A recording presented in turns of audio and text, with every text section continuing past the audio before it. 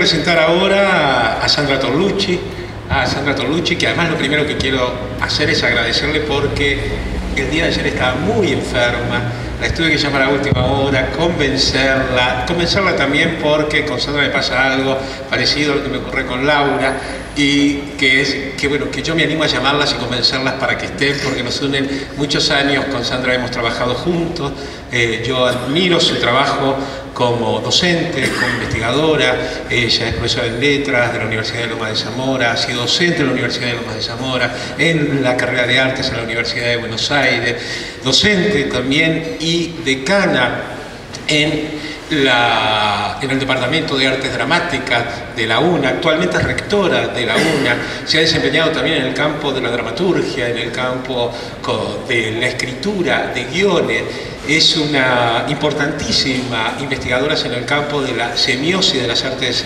del espectáculo.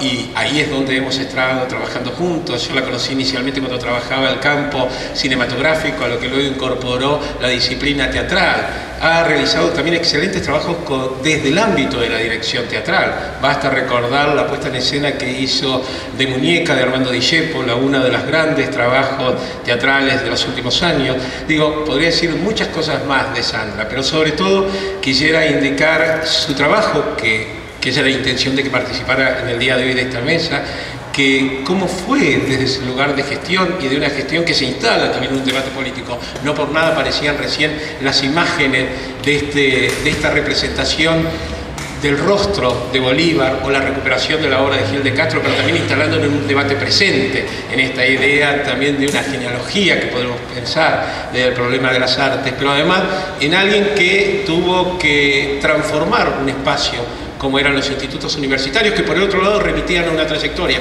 Yo tengo que pensar cuando digo el Departamento de Artes Dramáticas, porque lo primero que me sale es el Conservatorio Nacional. Digo, y lo mismo ocurría en ese recorrido cuando habla de los conservatorios de música o de la Escuela Prelidiano Pueyrredón. Digo también cuáles fueron esos recorridos de esos institutos universitarios y transformarla en una Universidad Nacional de las Artes en este espacio de tener un ámbito específico que es una universidad y donde acá se da otro elemento distintivo, interesante para pensar, que es el problema de la praxis, desde el lugar de la producción de esos talentos artísticos. Y quería señalar, sí, como un, último aspecto que me parece importante, que uno de los, de los últimos logros que viene por parte de la UNA fue la realización del Festival de Artes de la UNA, el Festival Artístico de la UNA, cuyo nombre es Fauna, porque en buena medida creo también define la fauna del campo de la artisticidad. Quería de esta manera presentarla a Sandra y plantear esta instancia del lugar, del espacio público, el lugar político, también como mujer política que sos y que tuviste que batallar mucho para que el Yuna se transformara en la una, es decir, casi desde una perspectiva de género, hasta en ese lugar del él a la, ¿ah? tema que también vamos a entrar para pensar algunos de estos conceptos. Bueno, muy buenos días a todas, a todos. Un orgullo para mí estar acá el día de hoy en esta apertura con todos los colegas a quienes respeto muchísimo y bueno, y con Ricardo que me elogian demasiado como siempre y me engaña y me dice que me llama para debatir de política universidad y, en realidad siempre después me hace hablar de otras cosas, como de género. Eh, la verdad es que la creación del IUNA se da en un contexto, voy a hablar de política, eh, porque me parece que la, convocatoria es como rectora de una universidad de artes, así que me parece, yo había organizado el discurso a partir de esa particularidad de una Universidad Nacional de las Artes Trans, porque era él y una, y ahora es la una, seguimos siendo trans, eh, nos da mucho orgullo esa situación de género, después voy a ahondar un poquito en ello, pero básicamente eh, también es transpolítica. el IUNA se crea eh, por decreto del presidente Menem en el año 1996 integrando de una manera traumática, digamos, por lo menos traumática, todos los conservatorios nacionales que tenían entre 100 y 80 años de trayectoria y eran reconocidos como los más importantes eh, institutos superiores, ¿no es cierto?, de formación de artistas en América Latina. Cada uno con su eh, sello, su nombre, todos tenían nombre, ¿eh? el la CUNIL, la Escuela Nacional de Arte Dramático, antes Conservatorio Nacional, la Pueyrredón, se, se las reconoce todavía hoy por esos nombres.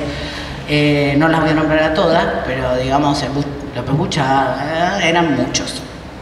En el momento de su constitución, en realidad imagínense lo que era ese Instituto Universitario Nacional, se manejaba atomizado en tantas unidades académicas como institutos superiores nacionales habían existido antes de su creación y se sumaron áreas nuevas que venían a ser casi la garantía académica de la universidad. El área transdepartamental de crítica de artes, el área de artes multimediales y el departamento de artes audiovisuales, generando así además un problema de jerarquía entre departamentos y áreas transdepartamentales. Todo fue una guerra civil y una guerra eh, hacia el exterior no quería, la mitad de la población de la, del IUNA no quería ser universitaria porque pensaban que iban a perder su capacidad productiva, su capacidad artística. Cuando nos instalamos en el mundo universitario traumáticamente, muchos empezaron a decir, algunas otras universidades, vamos a decir la verdad, que no éramos verdaderamente académicos ni universitarios, y otros que éramos excesivamente teóricos para ser formadores de artistas. A partir de entonces, yo en esa época era docente. Aquí, en dos cátedras, en la cátedra de Graciela Fernández Toledo y en la cátedra de Hugo Mancuso. Me había ocupado en la cátedra de Hugo y de, diferente manera en la Graciela por pensar la cuestión de la metodología de investigación en artes y los problemas que traía esa vieja dicotomía que existía falsa también en cierto punto, en el sentido académico, digamos, entre pensamiento y creación. Una dicotomía que hoy sigue vigente. Algo que todavía hoy en la universidad nos atraviesa, en la UNA, ya no en el IUNA, sino en la UNA, nos atraviesa y nos demanda una permanente presencia. Ricardo me convence así. ¿No? Bueno, no, hay que ocupar los espacios para volver a decir qué importante es que la UNA hoy es la única universidad argentina que se ocupa únicamente del arte, de las artes, de las problemáticas vinculadas a las artes, entre ellas la de la formación de artistas. Y ahí empiezan, se pueden formar artistas, se puede formar artistas que piensan, que sean críticos, que sean sus propios curadores, que sean sus propios directores de espectáculos, que sean sus propios eh, productores, que sean ellos mismos capaces de juntar eso que está disyuntivamente organizado desde el siglo V antes de Cristo. Además, se suma desde entonces también la superioridad de las artes visuales y de las artes musicales. Desde Platón hasta hoy, uno dice que el artista visual es un artista. ¿A qué te dedicas? Soy artista. Le preguntan a un músico y dice, soy músico. Le preguntan a un cineasta y dice, soy cineasta o director de cine. Le preguntan, los otros que dicen artistas son los actores, pero también los actores famosos, digamos, no los actores que forman parte de los procesos de producción experimental o independiente, digamos, ¿no? Las estrellas. Entonces la palabra artista también, evidentemente en su uso, tiene un montón de preconceptos, de prejuicios y estigmatizaciones positivas y negativas. Nosotros nos tenemos que ocupar de ese problema. La verdad es que nos ocupamos permanentemente de ese problema desde nuestro nacimiento, porque además, como éramos del arte y éramos un... Yo iba a cualquier lugar y decía, soy la rectora del IUNA, cuando era IUNA, y me decían, uh, era todo lo que la gente expresaba, ni siquiera palabras, uh. Era de verdad conflictivo y por eso mismo a mí me encantaba. Dejé casi todo en la vida para poder dedicarme al Yuna. Eh, en el 96, además, como éramos ese U, no nos dieron ni edificios, ni presupuesto, ni reconocimiento. No nos reconocían la posibilidad de tener un programa diferente para las categorizaciones, porque nadie tenía ni siquiera título universitario. No tenían papers, imagínense, sin papers, sean como sean los papers. Todos los artistas tenían, bueno, pero yo tengo el premio eh, internacional tal o el nacional tal, le expuse en un museo, en la Bienal, no sé dónde, en el otro lado. No, pero no son publicaciones, esas no son publicaciones. Y ella, ¿cómo no son publicaciones? Más pública que la Bienal de Venecia, decían los artistas que habían participado en la Bienal. Y yo les tenía que explicar que en el universo académico eso no es publicación. No tiene nada que ver con la divulgación científica. Ni, tampoco, por lo tanto, había un espacio para la divulgación artística. Fue muy complejo, fue muy duro. Acá hay un montón de colegas, la veo ahora, sí, veo un montón de gente que estuvo trabajando como docente e incluso participando en la constitución, digamos. Bueno, Ricardo también está todavía y hay, bueno, muchos, no lo voy a nombrar a todos, pero de verdad veo un montón de gente que todavía trabaja hoy en la universidad. En ese momento sin presupuesto, entonces, sin la suerte de haber sido entendidos como una universidad que protagonizara algún tipo de modificación en el mapa del territorio del sistema universitario, territorio en el, amplio sentido del término, territorio, tomando el espacio también como un espacio eh, como, como, un espacio discursivo de poder, como un espacio de definición disciplinar, de algunas otras cuestiones que pusieran o que perturbaran de alguna manera, ya que el arte siempre se ocupa de esa perturbación, que perturbara un poco ese territorio universitario que estaba en el noventa y pico todavía muy enclaustrado, muy hacia adentro, muy mirando cada universidad su problema, y empezaban a crearse universidades nuevas, como decía Aníbal que pretendían instalarse en el territorio de otra manera. Yo soy de Lomas, de todas maneras no soy de acá, aunque todo el mundo cree que sí. Estudié en Lomas y Lomas ya se planteaba en la época que yo estudié, y yo terminé en el 92, eh, la inserción en el territorio eh, y, y, reconocía y recuperaba el problema, el impacto, digamos, de la universidad y el territorio en el cual estaba emplazada. Eh, cuando el IUNA se crea, se crea pensado para todavía, digamos, ser un foco en la ciudad de Buenos Aires y trabajar con la producción de artistas de mucho nivel, casi elitista, digamos, el concepto en la ciudad de Buenos Aires.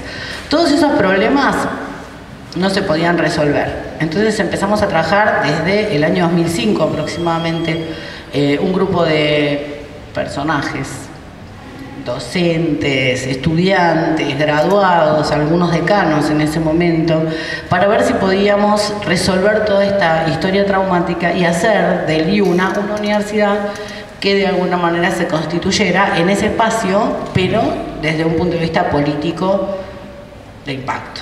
No desde la crisis, sino desde, en todo caso, la puesta en crisis de un sistema que no la podía ni siquiera aceptar ni, ni siquiera se podía el Yuna aceptar a sí mismo, pero tampoco el sistema podía aceptarlo. Entonces nos pareció interesante ponerlo a jugar esa, en ese lugar político y bueno, y, así como nos, digamos, la universidad se creó en un contexto completamente adverso, en el 2005 había cambiado el contexto del país y había una disposición en la, en la Secretaría de Políticas Universitarias y en el sistema universitario a comprender la importancia de la creación de nuevas universidades, inclusive en la ciudad de Buenos Aires, inclusive de artes, digamos, ¿no? Y que había una intención abierta de invertir en la educación en lugar de considerar un gasto inútil la formación en el sistema universitario de artistas que, que encima no sabían si de los mil que entraban por año en cada unidad académica cuántos iban a ser de verdad prestigiosos o buenos, o halcón, no sé, algún otro maestro, Susana Rinaldi, en cada ámbito hay uno. Eh, les parecía un gasto superfluo formar, dejar entrar a mil personas de, cada disciplina artística para conseguir 15 más o menos famosos en el universo del arte o que impacten en el universo del arte. Decidimos empezar a trabajar un proyecto de universidad con un grupo de gente importante, que hoy también hay algunos acá presentes, eh, y empezamos a avanzar en, el proyecto, en un proyecto diferente, en la reconsideración de esta problemática en vincularnos con el sistema universitario. Empezamos a integrar el CIN, el Consejo Interuniversitario Nacional, desde entonces, la rectora anterior a mí y yo luego eh, participamos activamente, nos integramos activamente. Un lugar al que muchos no respetan, muchas universidades no necesitan ni siquiera ir, pero nosotros consideramos que sí, justamente porque si no ni siquiera nos veían, estábamos invisibilizados. Fuimos, trabajamos, nos constituimos en actores de, un alto nivel de defensa, primero las artes, ¿no? Y después de la formación de artistas. Eh, por ejemplo, logramos que la comisión del CIN que se ocupa de ciencia y técnica se llame Ciencia, Técnica y Artes.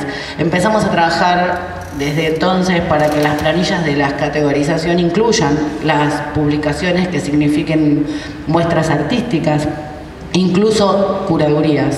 Digo, porque también de alguna manera impactó en lo que tiene que ver con esta universidad y la carrera de artes y otras que tienen facultades de arte. Eh, trabajamos también con eh, la colaboración de expandir nuestra producción a otros sectores del mapa, digamos, del territorio nacional, entendiendo nuestra, nuestra función. Eh, hemos llevado muestras, que ahora iba a hacer referencia específica para ligarlo con lo que decía Laura del patrimonio que tiene la universidad y también con lo que decía Aníbal del patrimonio que tiene la universidad. Hemos llevado nuestras muestras a todo el país para hacer lo inverso que hace el resto del sistema, que es venir a Buenos Aires a mostrar. Nosotros dijimos, bueno, nosotros estamos en la ciudad de Buenos Aires, llevamos nuestras producciones al resto del país lo estamos haciendo de manera constante. Ahora, en este momento, está yendo la que viene Concordia a Verazategui, por ejemplo.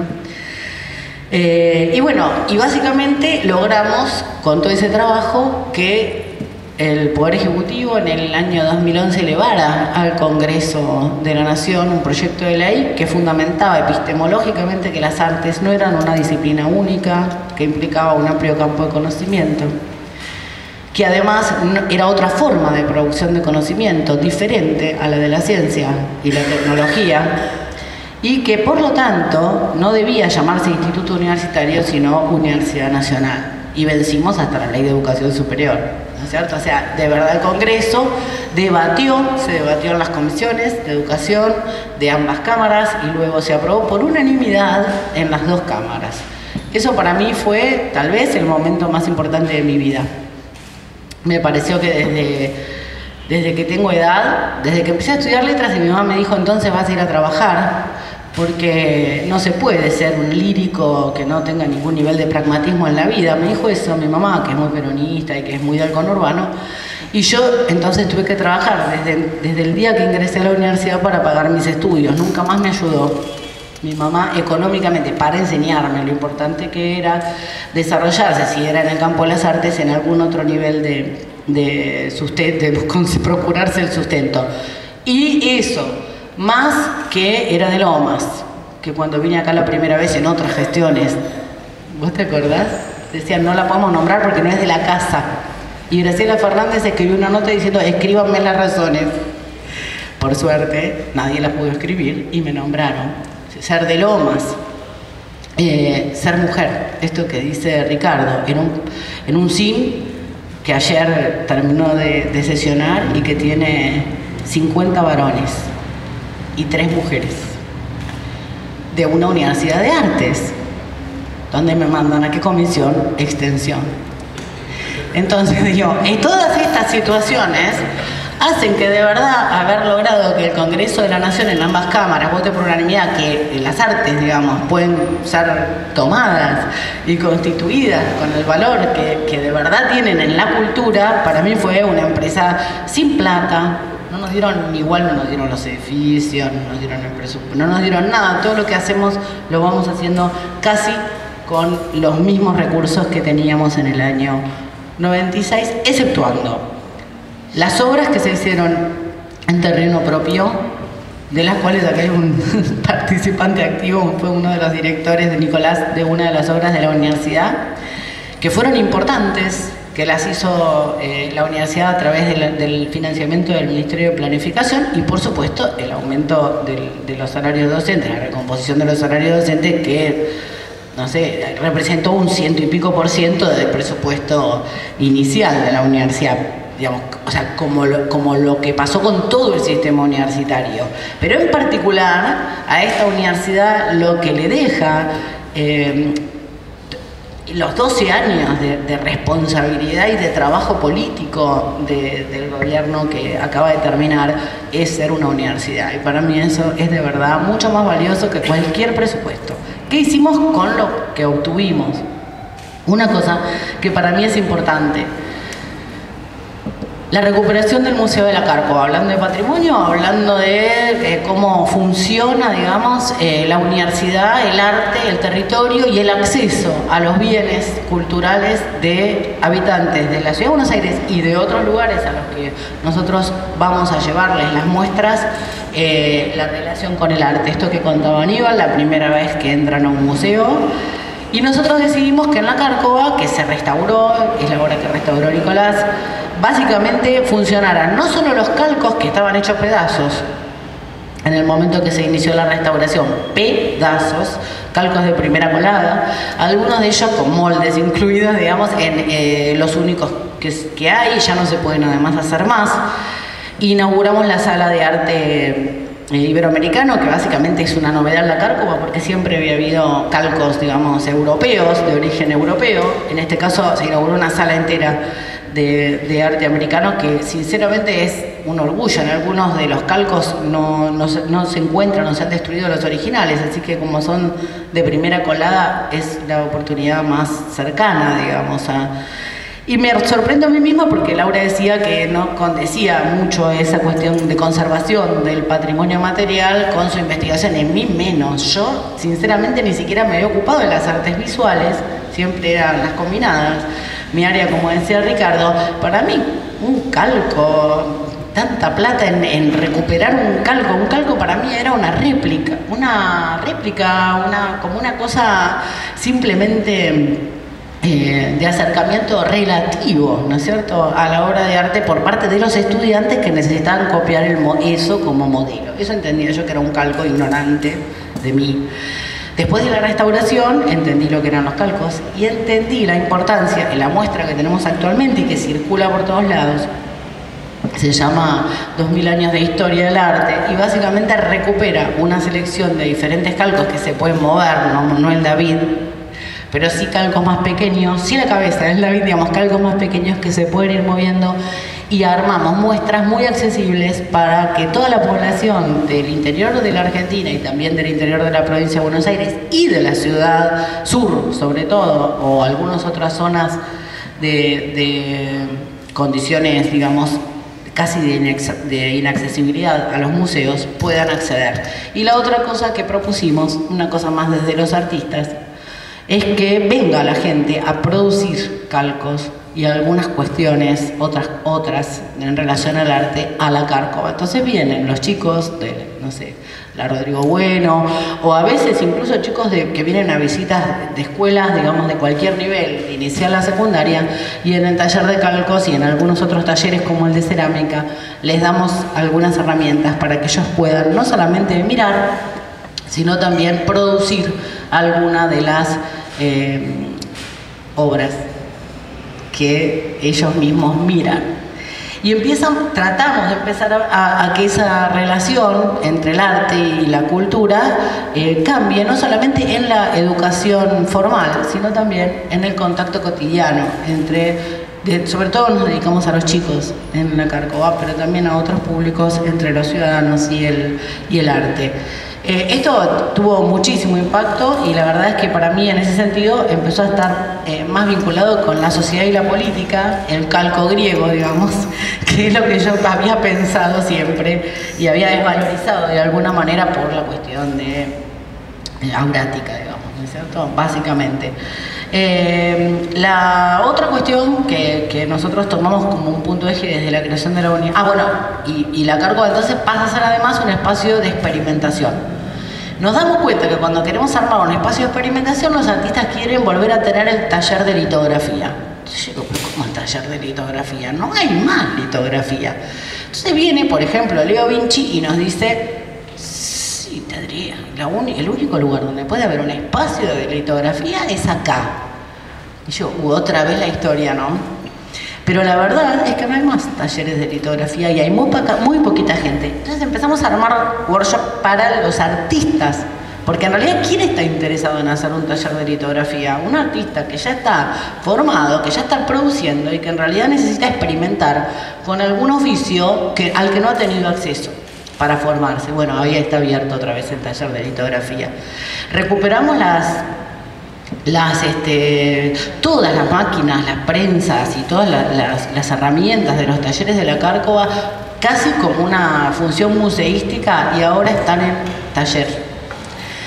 Nos pareció increíble, es cosa de artistas, de verdad eso es una cuestión de artistas, son los únicos que se animan a volver, digamos, a retomar elementos que uno piensa completamente perimidos y ponerlos en funcionamiento en el siglo XXI a través de, otras, de otros cruces con artes multimediales, con teatro, con danzas. Entonces armamos, estamos armando, estamos constituyendo con la ayuda de Jorge Laferla un centro de experimentación con el ICIRNI, Jorge Laferla y algunos otros más que trabajan en la cuestión multimedial, un centro de experimentación en la Cárcova, también hay gente acá que trabaja ahí. Eh, estamos tratando de ponerlo en funcionamiento sin presupuesto también, con la ayuda inmensa de los docentes y artistas que participan activamente en la vida académica y algunos no, algunos de afuera, como Leo, que vienen a la Cárcova o vienen a recuperar esa institución que los formó, ¿no es cierto? Que de alguna manera ellos ahí eh,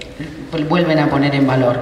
Entonces lo que pasó con la universidad en los últimos años, para mí estuvo en consonancia con el resto del mapa territorial del sistema universitario.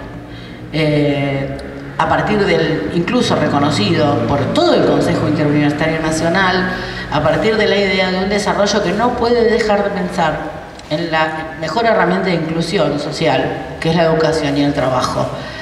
Nosotros entendiendo ese documento, tomándolo con mucha responsabilidad, pensamos en la formación de los artistas, también además de, la inclusión de ellos en el universo universitario y luego en el campo profesional, que es muy importante, la posibilidad del trabajo. El trabajo entonces nos obligó, la idea de pensar en el perfil profesional de los graduados, nos obligó a armar nuevas carreras que de alguna manera les ofrecieran la garantía del trabajo profesional vinculado al arte, que no fuera solamente la producción que todos los artistas hacemos sin ganar un peso, salvo que se venda un cuadro o una escultura. ¿no? Eh, en ese sentido creamos algunas carreras, la de curaduría, una licenciatura en curaduría, la de Artes de la Escritura, que tiene un perfil completamente diferente, no sé si la vieron, pero completamente diferente a lo que es la carrera de letras aquí, porque nosotros, otra cosa, también la de curaduría es distinta a la de la UTREF. Nosotros miramos que las ofertas que ofrecemos no compitan ni con el perfil, sobre todo, pero tampoco con los niveles. Si hay posgrado, armamos grado. A veces yo pienso que por ahí es mejor armar un posgrado, pero está en la UTREF o en la UNSAM. Y nosotros tratamos de complementar en ese sentido el mapa territorial del sistema universitario. No pasa lo mismo con otras universidades, ¿eh? que ponen la misma carrera a dos cuadras. Eso hay que saberlo. Son diferentes niveles de comprensión de lo que pasa en las artes. A mí me parece que no podemos competir entre nosotros, sobre todo en un contexto en el que el Estado se retira, otra vez. A nosotros nos toca ahora vivir la misma situación que en la fundación.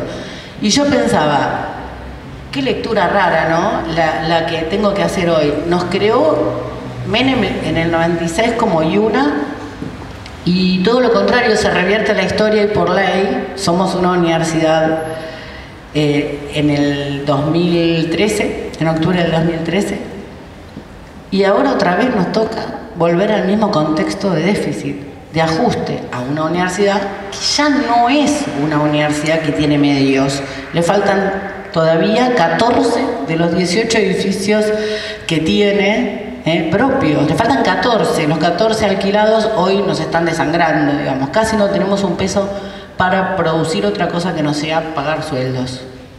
Con lo cual todo lo que es el patrimonio recuperado probablemente eh, tengamos una sola forma de, de resolverlo, que es trabajando en red con otras instituciones que podamos eh, intercambiar y generar recursos inclusive, colecciones. Entonces los artistas en la Cárcova empezaron a donar obras.